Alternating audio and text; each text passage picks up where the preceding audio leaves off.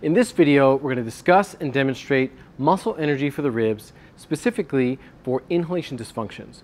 For each of our techniques today, we're going to be demonstrating respiratory assist principles. Something else to keep in mind for each potential group dysfunction, we're going to be focusing our treatment on just the key rib. I'm going to be putting my hands on a few different areas on your neck, your shoulders, your ribs up here, the front of your chest here, the side of your chest, and also uh, down by your pelvis. You let me know if you're uncomfortable at any point or if anything is tender and if you need me to stop and I can stop anytime. Okay. Because of the predominant biomechanics of the ribs in different areas, we're going to be breaking up our approach to treating these ribs by different regions. So starting from the upper region, ribs 1 and 2, we're going to start with a patient in supine position. So go ahead and lie back. We're going to be sitting at the head of the table. We want to make sure that the table is at a good height and that our seat is at a good height so that we're comfortable. And we're going to make contact with our key rib. So if our key rib was rib 1, we'd find our first rib by finding C7, T1, and then moving lateral until we find uh, the posterior aspect of rib 1. And we can contact the posterior lateral aspect of rib 1 with either the pad of our thumb or we can also use the metacarpophalangeal joint of our index finger to contact that posterior lateral aspect of the rib. From there, we're going to use our other hand to scoop under the cervical spine, and then we're going to side bend the neck towards the dysfunctional rib and rotate away. We're also going to introduce a force inferior and medial to bring rib 1 to its restricted barrier, which is exhalation. Once we've met the restricted barrier, we're going to have our patient take a deep breath in. As they're taking a deep breath in, we're going to provide isometric resistance. And then when they breathe out, we're going to follow that rib as it moves into exhalation through the restricted barrier into a new uh, restricted barrier position. So go ahead and take a breath in. We're going to provide isometric resistance. And when she breathes out, we're going to follow a little more inferior, a little more side bending and rotation. And take another breath in. We're going to provide isometric resistance. As she breathes out, we're going to take up the slack, move a little more inferior, and add some additional side bending and rotation. Take another breath in, and then breathe out. I'm going to move inferior and a little more side bending and rotation. Again. And then out. Good. One more time. So we're going to repeat these isometric contraction and relaxation cycles for a total of five to seven times. Then we'll return our patient back to a neutral position and then reassess for somatic dysfunction. We can also use this position to contact rib 2 and we can again make contact with the pad of our finger on the posterior lateral aspect of rib 2 out closer to the shoulder uh, directly posterior to the clavicle.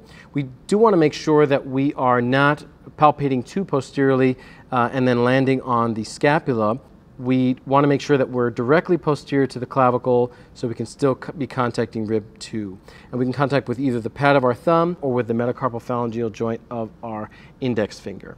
For our next rib region, ribs 2 to 6, we're going to take advantage of the predominant pump handle motion by contacting the anterior chest wall. Because we're going to be moving towards a more sensitive area, we also want to make sure that, especially with female patients, that we're very clear about where we're going to be putting our hands. So I'm going to be putting my hands uh, along your upper chest. As I move a little further down, I might need your help to move your breast tissue out of the way. Mm -hmm. Okay. So if rib 2 was the key rib, we would make contact directly inferior to the clavicle, and we would take our thumb and contact the superior aspect of rib 2, and then allow the rest of our hand to drape into the axilla along the contour of the rib cage. Now from here, we also want to make sure to introduce a little bit of flexion of the head and neck and upper thoracic spine and a little side bending towards the dysfunctional rib to ensure that we're maximizing a restricted barrier. We can do this in a seated position, but it might also be helpful to stand up so that we can create more leverage. From this position, we're going to flex and side bend until we get to the restricted barrier, and then we'll have our patient go through uh, inhalation and exhalation cycles. Go ahead and breathe in. As our patient breathes in, we're going to provide isometric resistance, and then as they breathe out, we're going to follow to the next restricted barrier. Go ahead, breathe in again. We're going to provide isometric resistance, and then follow to the next restricted barrier. Take another breath in, and during exhalation, we're going to be using our weight to accentuate exhalation. Go ahead and breath in, and then out.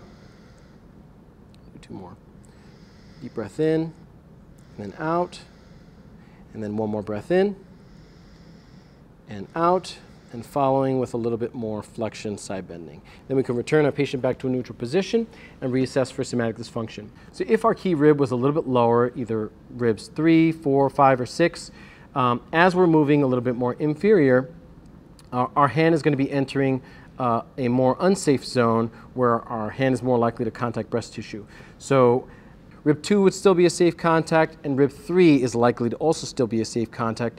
Once we're about to reach rib 4, we're going to ask our patient uh, to move their breast tissue out of the way. So I'd like you to use your left hand and just kind of uh, scoop your breast tissue down and to the middle. Perfect. So as our patient does that, it allows us to get much better contact with rib 2, 3, and then rib 4. We might be able to reach rib 5 depending on our patient's particular uh, chest soft tissue. For my patient, rib 4 is about as low as I can go. Um, again, in this position, you'd allow the hand to drape into the axilla. You would flex and side bend to the restricted barrier. If our key rib was instead rib 5 or rib 6, we would ask our patient to lift their breast tissue instead. So go ahead and lift your breast tissue up and to the side. Good. And again, we're going to be making contact. Now that we're moving a little further down the torso, we can move a little bit more to the side. We're going to take our thumb and again contact uh, the superior aspect of the rib of interest and then allow our hand to drape uh, uh into the axilla. So for rib 5 and then rib 6. So if rib 6 was the key rib, we would again flex and side bend until we meet the restricted barrier for that rib. So now that we're moving much further down, we may need assistance in introducing flexion. So we can bring our thigh underneath their head and neck into their upper thoracic spine. And that will allow us to create a little more leverage to introduce flexion and then side bending to the restricted barrier at the segment that we're going to treat. And then again, we would initiate inhalation and exhalation, providing isometric resistance and following to the next restricted barrier for a total of five to seven times. And then we would return our patient back to a neutral position and then reassess for somatic dysfunction. Our next region is going to be ribs 7 through 10.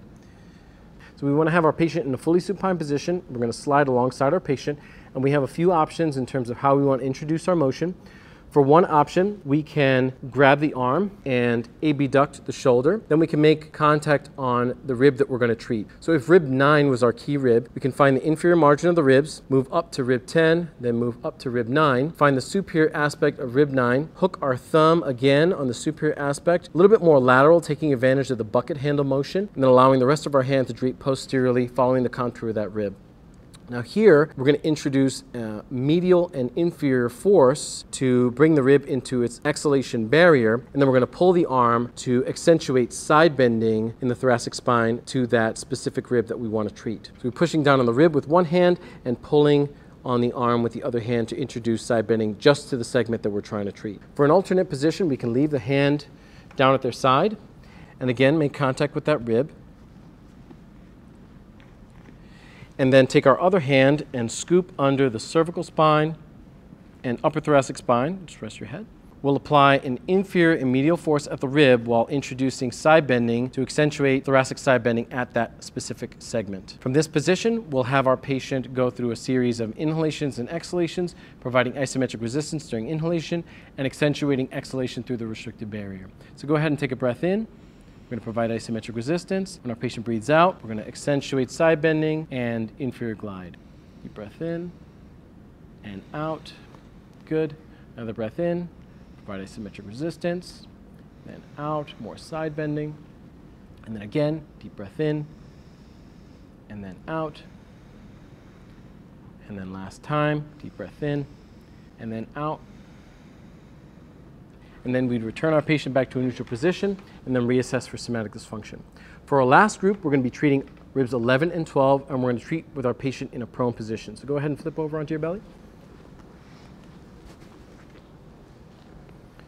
When approaching ribs 11 and 12, it's important to remember caliper motion during inhalation and exhalation. During inhalation, ribs 11 and 12 move inferior and posterior, and during exhalation, they move anterior and superior.